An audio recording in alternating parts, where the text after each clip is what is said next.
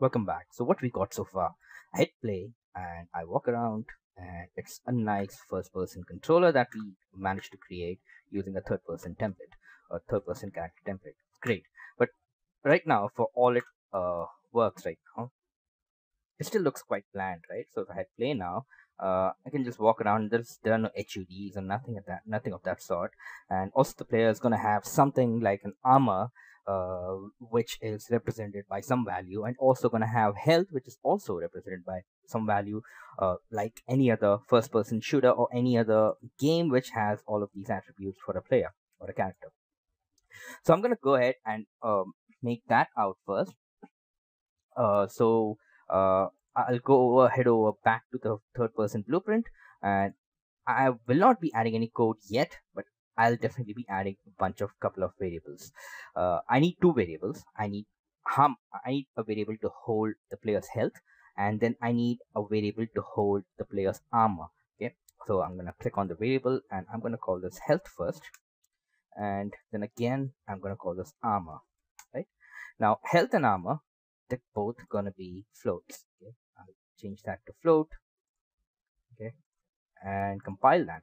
Now we have to give them some uh, default values and the reason it's float is because I want to keep the range of the health uh, between 0 and 1 so a 1 value of 1 would mean 100% health and a value of 0.5 would mean 50% health and value of 0.01 would mean uh, 1% health and so on and so forth okay? So that's the reason I want to have the health as a float and for the same reason I want the armor also to be a float variable right? So anything between 0 and 1 so 1 would represent 100% so that's this is on a scale of 0 to 100 which shrinks down to 0 to 1 as simple as that right? So both I'm going to have them as 1 uh, for default values and I'm going to move on from there right?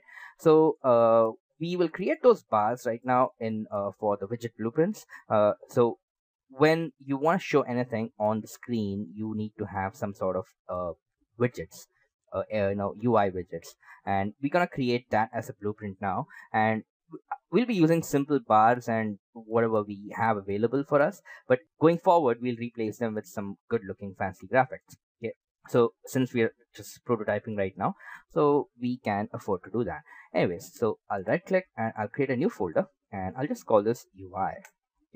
And now inside UI, I'll be creating a new widget blueprint and I'll call this user interface widget blueprint. Okay. Okay. I'm going to name this uh, FPS HUD for right now. Or I can just call this HUD, I guess. Yep. I just call this HUD and open this up. I'm going to need two progress bars at the bottom and we can later on uh, think about beautifying it uh, because right now they're just going to be ugly rectangles sitting down there uh, at this at this point in the screen and it'll do its job but later on we're gonna add all the fancy graphics and we'll make it look good but not right now. But for now all we're gonna do is we're gonna drag a couple of progress bars. I'm gonna drag a progress bar down to the bottom here okay like this. And i'm gonna name this uh i'm gonna first anchor this to the bottom okay. I'll do this okay and I'll say 0.5 and 0.5 so that it comes up or 0.5 uh, that's okay. Uh, and I'll just bring this up a little bit. So select this I'll use my arrow keys to bring it up like this. I think that's good enough. Okay and I'll make I'll name this as bar okay and then again I'll right click copy and I'll paste this back in the panel and course uh, I'll zero them out. I'll name this as armor bar. Okay and select that and just move it around like this. Okay so that's good. Now I'll select the health bar and I'll give it some uh, size. So I'll say uh, size X can be I don't know 300 that's fine. And armor bar can also be 300 okay so now we have the health bar and armor bar the health bar I'll choose a color first and I'll choose something like this red okay? Like a pale red right and then for the armor bar I'll choose something like yellow. Now you're free to choose anything you like but I'll choose this right that's good. And we have this yellow little yellow. Now just to make sure that it works uh you know you can change the percentage here. So if I do that then you can see that the red is filling up. And the armor bar if I do this I can see that the yellow is filling up all great. We have the names. Now uh, the reason now you could probably understand the reason why we made the health bar and the armor bar inside third person character as floats and uh, we are calculating it between 0 and 1